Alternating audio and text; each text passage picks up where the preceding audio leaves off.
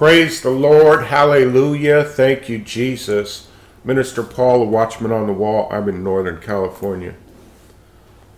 Before I begin, do me a huge favor, you know, against this YouTube suppression of these important messages. Just stop and pause and hit the like button. Everybody, just hit the like button on every video I make. I want to, I want to get these messages out for such a time as this. It's important. Thank you.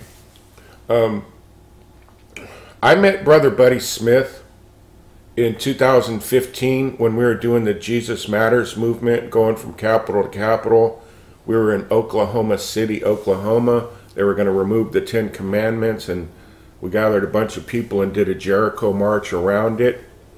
And that is where I met Brother Buddy from the Lord's Hour. Uh, he's a he's a, a mighty man of God and um, I love his fellowship. He is the brother Buddy and his wife, uh, Sister Brenda, in Texas. There are the the lead intercessor uh, prayer warriors for lead the lead for intercession prayers uh, at Righteous Cry Ministries for our online fellowship and sermons. And he sent me this uh, Sunday morning, twelve three it's called A Vision and a Dream, and I want to share it with you. This is his writing, unedited. So it says, It was a beautiful day, and me and Sis Brenda were with some kids. Now, this is a dream he's having, and then it turns into a vision. We are out walking near our apartments where we live now. There is walking paths near the river by us. When suddenly the sky was filled with jet fighters and hire bombers over our city. These were not American ones at first. Based on what I saw, these were Russian and Chinese planes. Our planes came. Uh, our planes came too, and the fight was on. The bombers were trying to drop bombs on our base here. We took the children and ran back to our apartments. Bombs dropping, huge noises, the fighters fighting each other the Russian and Chinese against the Americans, some planes fallen from the sky, but did uh, they didn't crash on us, but some around us. So in other words, the, the planes were falling from the sky in this firefight in Texas there, and uh, it, it, didn't hit them, but it, it uh, fell around some uh, around them. They were protected. He said, "Brother, that was the first part." Excuse me. And then the Lord showed me even more with this going on then in the spiritual realm, there were like brilliant shining white fighters, and these were dark black ones. They were far superior to any man made fighters. The white ones were whipping the black ones. Then, as, a, as intense as it was, I woke up, asking the Lord, What was all this?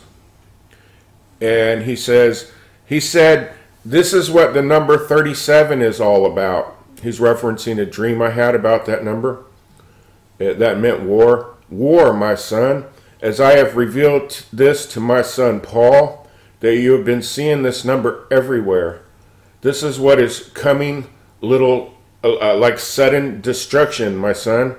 The dream shows you with children, my children. You have been called to show and teach them the way to go you have been called to watch over my children. Your part is to pray for them, teach them my truth, and encourage them to keep going. You are my servants and have matured, grounded in my word, and led by my Holy Spirit for such a time as this. Yes, you stumble and make mistakes. No one is totally complete in me until you come home. You are on the right path. Be encouraged.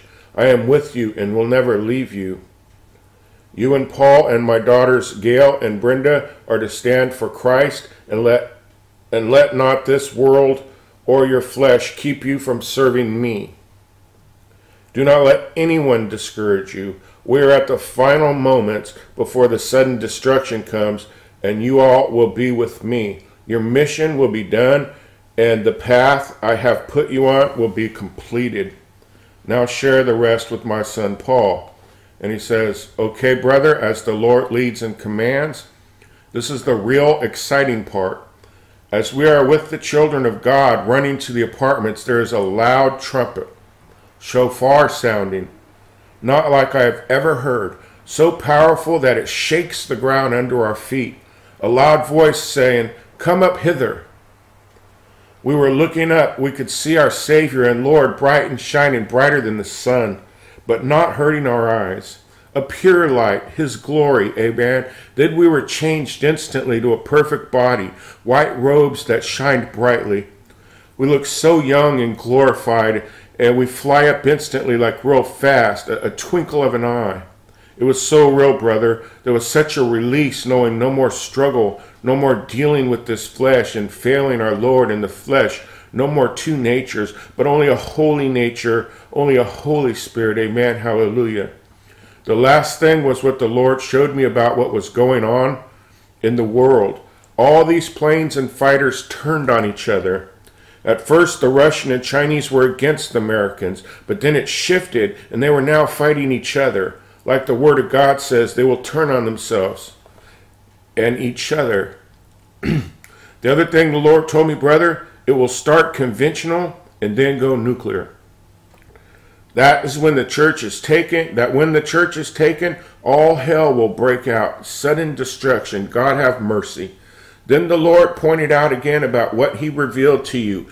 3 7 means war, and what he pointed out to me.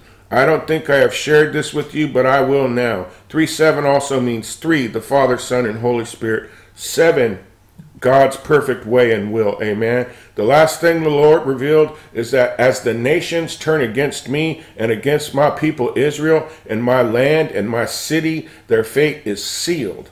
You are studying it now. We're doing Revelation in our sermons, the book of Revelation.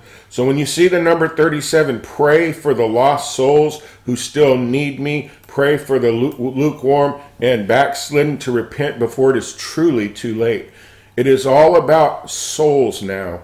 By the choices of the nations turning from the true living God and turn to Satan, the God of this world. Their fate is sealed. The judgment and wrath is coming from my holy anger and righteous indignation. Pray for my created children to come home to me before the gate of heaven is closed. Your righteous King Jesus forever. Amen. and he goes on to say that was the, the most intense and so real dream he's ever had.